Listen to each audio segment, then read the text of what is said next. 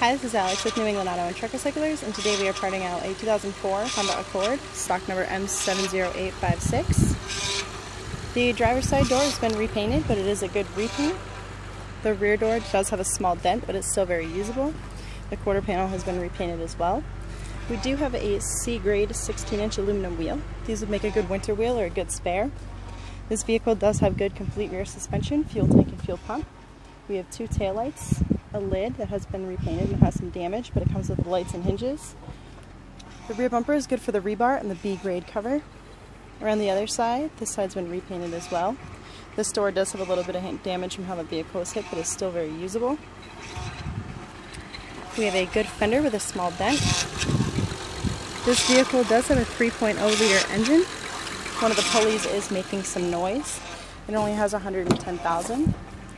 The driver's seat is worn but still usable. We also have a good gray leather passenger seat.